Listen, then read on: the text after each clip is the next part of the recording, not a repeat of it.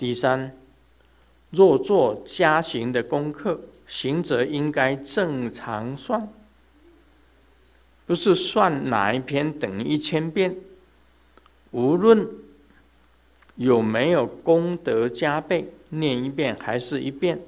如此累计十万或更多。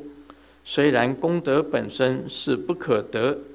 在世俗地应该不断的行善，因为没有行善行恶而成就的活菩萨，这是弟子的领悟，不知对否？当然对了，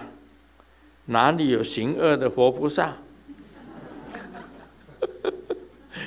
哦，那当然是对了，你的领悟是正确的，好。然后我们正常在算这个，在数，啊，有的人用念念咒用计数的，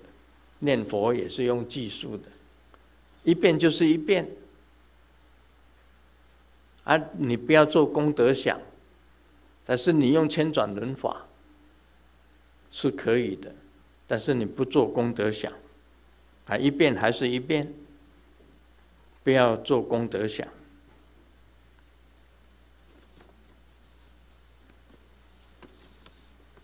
啊，这个这个小刘的这个认知是对的。